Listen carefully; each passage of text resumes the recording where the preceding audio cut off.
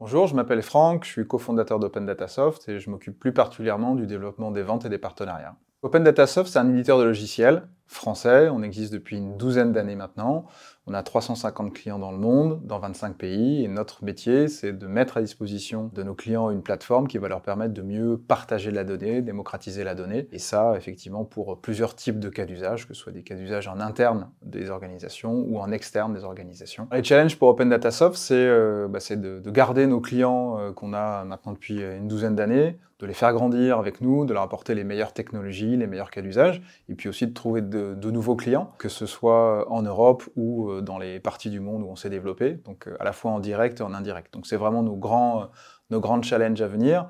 Et puis je dirais qu'aussi essayer d'être dans de multiples industries. Aujourd'hui, on est très très fort dans un certain nombre d'industries, type le secteur public, l'énergie, les transports, un peu les banques. Et puis vraiment, notre sujet, c'est de pouvoir équiper tout type de verticaux sur une solution de, data management qui puisse finalement aller à n'importe quel type d'organisation qui doit euh, partager des données et les manipuler.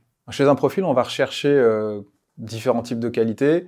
Donc, il y a d'abord le culture fit, donc euh, effectivement de, se dire que la personne qui va nous rejoindre puisse matcher avec l'ensemble des profils qu'on a déjà.